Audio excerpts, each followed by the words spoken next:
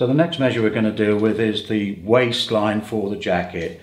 Normally comes in at the point of maximum suppression and we can identify the jacket waist and the waistline in general on the body by being underneath the rib cage and above the hip bone. So we'll just take the tie out of the way for Mr. Client and um, we'll have a look at what the waistline is. Uh, passing the tape again in exactly the same way as for the chest, passing it parallel to the ground from one hand to the other around the uh, narrowest point of the waist, which will be basically at the navel. Perhaps the client would just look straight ahead for me.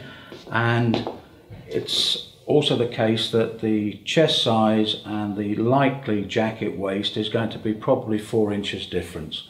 We already know this gentleman's 42, so our range of expectation looking at this figure is it's going to be something like 37, maybe 38, possibly 39.